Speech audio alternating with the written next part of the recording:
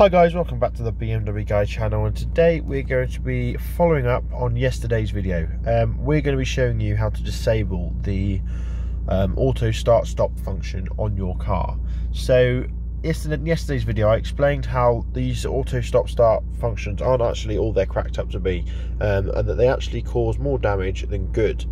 Um, obviously this is subject to different manufacturers etc but the, the majority of the, the sort of thought at the moment is that actually these systems on these older cars don't really save that much fuel um, and then tend to cause more accelerated wear on the engine components than actually um, is sort of beneficial. So um, today we're just going to be showing you how to disable it.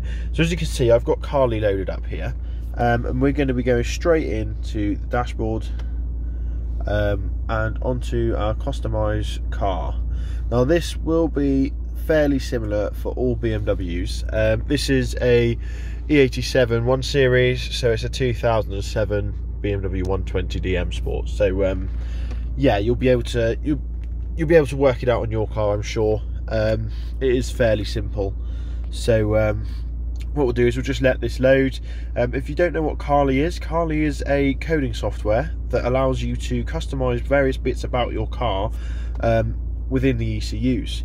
So we're just going to click OK there. Um, also what it does, it creates backups, etc. So if any there's any issues, you can back up your ECUs. Um, it runs via the OBD port here, and as you can see, it's just a simple little um, adapter that you plug into your OBD port. I have a little lanyard stuck onto my with super glue because I found it was really hard to get it out of the hole um, once you got it in.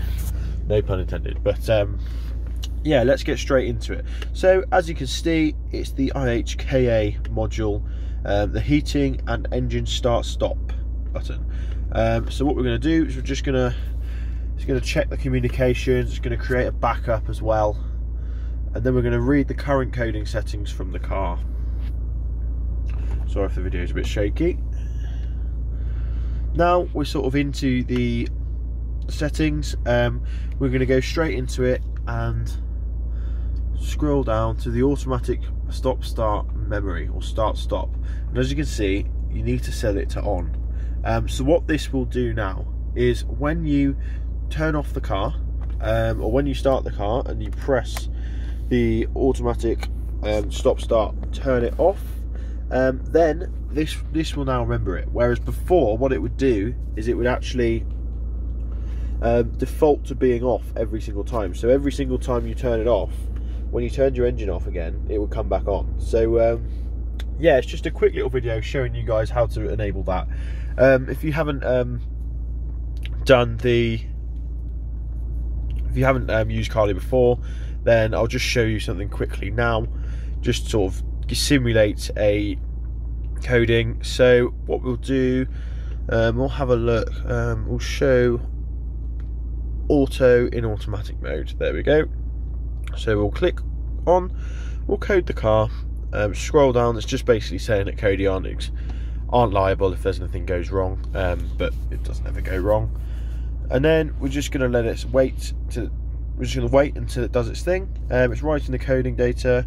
Coding was successful. So now when I press auto and brace yourselves for the fan noise, it now states auto above there whereas it didn't before. So um, yeah it's just a really really useful tool if you're a BMW owner. But um, yeah that's it guys. Thanks for watching. Don't forget to like comment and subscribe. Let me know how you guys find Carly um, if you use it. Let me know what your favorite codings are um, and if there's any that you think that I should implement on my car. But um, yeah take it easy and I'll see you in the next video. Cheers